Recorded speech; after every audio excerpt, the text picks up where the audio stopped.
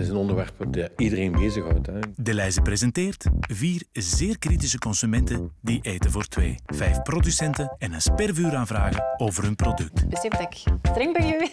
Je peux comprendre qu'il était un peu stressé.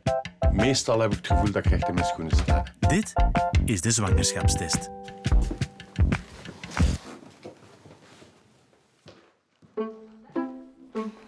Goedemiddag.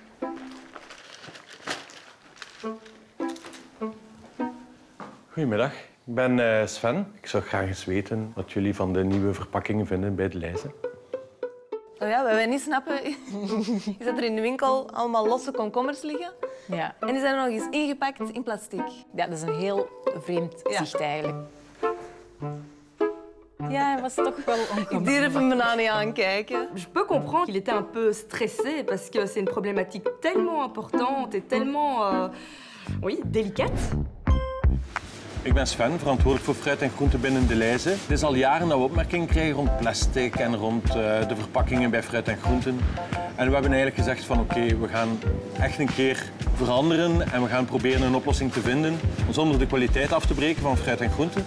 En we moeten zeggen dat de resultaten echt wel heel goed zijn. Alle mensen bij ons op de afdeling zijn echt fier om aan dit project mee te werken. En dat geeft echt wel plezier in die job. Hoe lang zou het duren, denkt u, eer dat de lijzen volledig plasticvrij zal zijn? Volledig plasticvrij zal nooit kunnen, maar we hebben wel de verplichting om ervoor te zorgen dat er zo weinig mogelijk plastic is. En de plastic die er dan is, dat die volledig 100% gerecycleerd is. Sommige producten kunnen nu eenmaal niet op een andere manier verpakt worden dan in plastic. On est obligé de mettre un peu de plastique pour éviter que la tomate sèche. On aura trop de food waste euh, chez vous et chez le consommateur.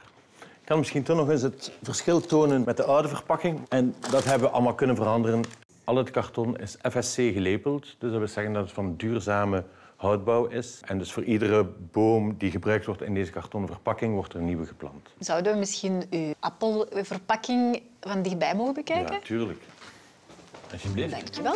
De eerste reflectie is zo van, ja, dat zal wel. Er zal wel een adder onder het gras zitten, maar er zit echt geen adder onder het gras. We gaan gewoon voor een duurzame verpakking. We moeten niet alleen met het leven nu bezig zijn, maar ook met eh, ja, de toekomst. De kinderen van de toekomst. Bijvoorbeeld de appels nu. Die waren helemaal afgesloten, nu niet meer. Hoe zorg je er dan voor dat daar ook evenmin bacteriën aankomen, bijvoorbeeld? De plastic verpakking die er vroeger eh, rond was, die zorgde eigenlijk niet voor een vermindering van bacteriëndruk of van risico.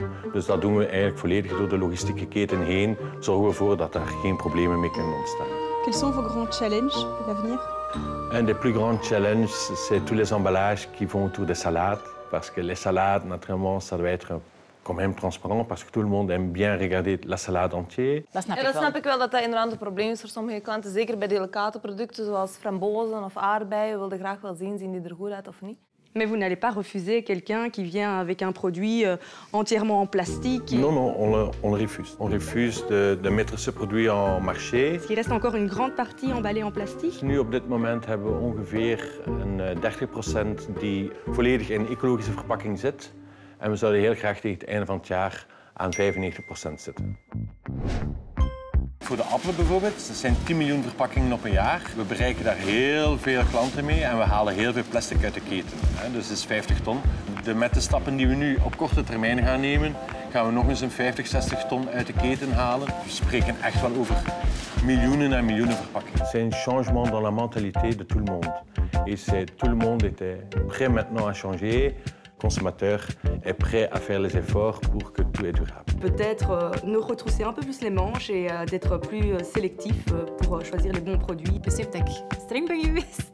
Maar eh, Echt chapeau. Mais le fait qu'il y ait autant de recherches et quand même autant de progrès, sans compromis sur finalement effectivement l'hygiène, euh, enfin, etc., c'est vraiment génial. Mogen we eens proeven? Ja hoor, kijk, speciaal gewassen voor jullie.